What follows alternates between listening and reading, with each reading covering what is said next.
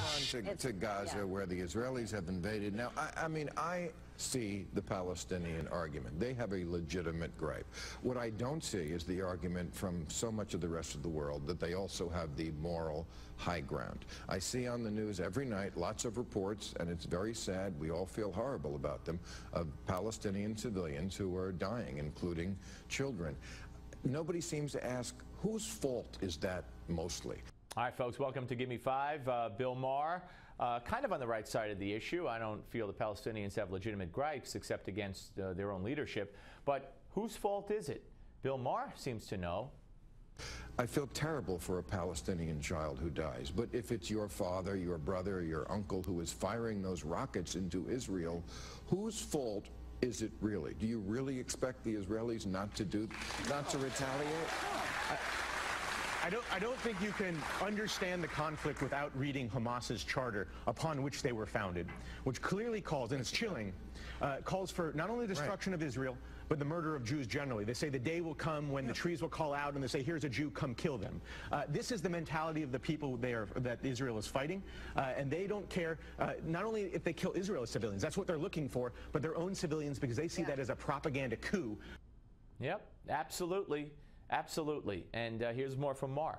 I do feel, uh, uh, to, to your point, that if, if the uh, Hamas people had the opportunity, they would kill the maximum number of Israelis, which would be all. And Israel has the opportunity to kill way more, and, and they, they do not. no. It seems like they are the victim of the soft bigotry of high expectations. The soft bigotry of high expectations. Very clever play on words there. Uh, it's good, though, to see Maher uh, agreeing with his conservative guest on this very important issue. It's encouraging to hear the uh, audience applaud. See, if Barack Obama and John Kerry were sitting in that audience, they wouldn't be applauding. If the State Department was sitting in that audience, they wouldn't be applauding. But the American public is on the side of Israel. More. Can we ask why Israel wins all the time? Because they've won every war they have to. If they hadn't won every war, they wouldn't exist. I mean, they, you can't go eight and one and be Israel. You kind of have to go eight and zero every year. Uh, so uh, I think it has something to do with the fact that they believe in science and education. I mean, Jews. Jews have. Uh, I think 155 Nobel Prizes, and Muslims have two.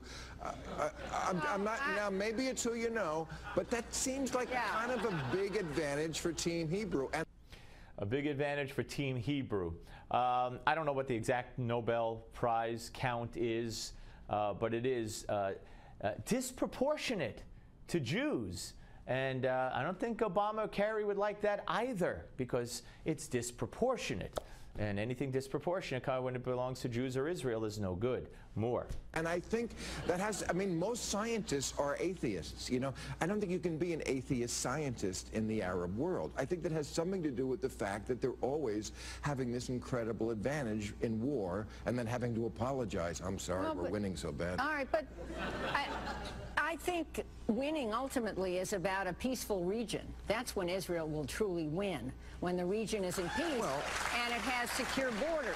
And fighting endless wars is a tragedy, not just for the Israeli people, who are protected by this missile defense system now, but also for the Palestinian people who've made very bad choices of their own leaders, They have. uh, and but are also victimized. I don't know what also victimized means, Jane Harman. And this dome will not protect Israel. The dome can't shoot down a barrage of rockets coming in at once. So let's not get complacent here and think that Israel has this, oh, they have this dome shield that's going to protect them. Uh uh Next. And isn't it about the least bad option? I mean, I, I, I somebody said to me today, uh, you know, I think the Israelis' main problem is not Hamas. I think it's world opinion. And I said, you know, I think if you live there, you know, your main problem is I might get bombed when I go to the dry cleaners. I think that's a, a little more It's important than do existential people thing, yeah. like me. I th- I'll, you know, I'll get to that when I can get up above ground, above the shelter I'm living in. Also, Yeah, very good point. Of course, public opinion is what uh, the State Department and Obama count on being against the, uh, Israel. But uh, Israel hopefully has the realization, or their leadership does, that you got to take care of the problem. And they're doing it on the Steve Malzberg Show.